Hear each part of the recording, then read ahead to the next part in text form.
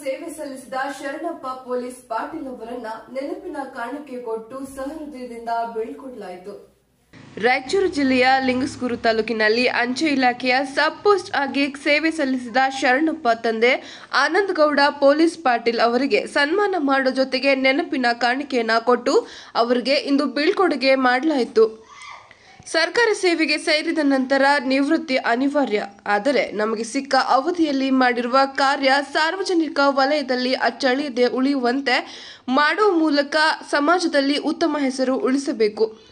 ಇವರು ಅಂಚೆ ಇಲಾಖೆಯಲ್ಲಿ ಸಬ್ ಪೋಸ್ಟಲ್ಲಿ ಸೇವೆ ಸಲ್ಲಿಸಿದ ಶರಣಪ್ಪ ತಂದೆ ಆನಂದಗೌಡ ಪೊಲೀಸ್ ಪಾಟೀಲ್ ಅವರು ಇಪ್ಪತ್ತ್ಮೂರು ಒಂಬತ್ತು ಹತ್ತೊಂಬತ್ತು ನೂರ ಎಂಬತ್ತೊಂದರಂದು ಸೇರ್ಪಡೆಗೊಂಡರು. ಅಲ್ಲಿಂದ ಇಲ್ಲಿಯವರೆಗೆ ಸುಮಾರು ಮೂವತ್ತೊಂಬತ್ತು ವರ್ಷಗಳ ಕಾಲ ಸೇವೆ ಸಲ್ಲಿಸಿ ಇಂದು ನಿವೃತ್ತರಾಗಿದ್ದಾರೆ. ಈ ಸಂದರ್ಭದಲ್ಲಿ ಹನುಮಂತ ಪೊಲೀಸ್ ಪಾಟೀಲ್, ಆದೇಶ್ ನಾಯಕ್, ಮೌನೇಶ್ ಹನುಮಪ್ಪ, ಜಂಬೂ ತಾತ, ಶರಣಪ್ಪ ಶಿಶುನಾಳ್ ಮತ್ತು ಅಂಚೆ ಇಲಾಖೆಯ ಸಿಬ್ಬಂದಿ ವರ್ಗದವರು ಮುಂತಾದವರು ಉಪಸ್ಥಿತರಿದ್ದರು subscribe our channel click the bell icon and like our videos.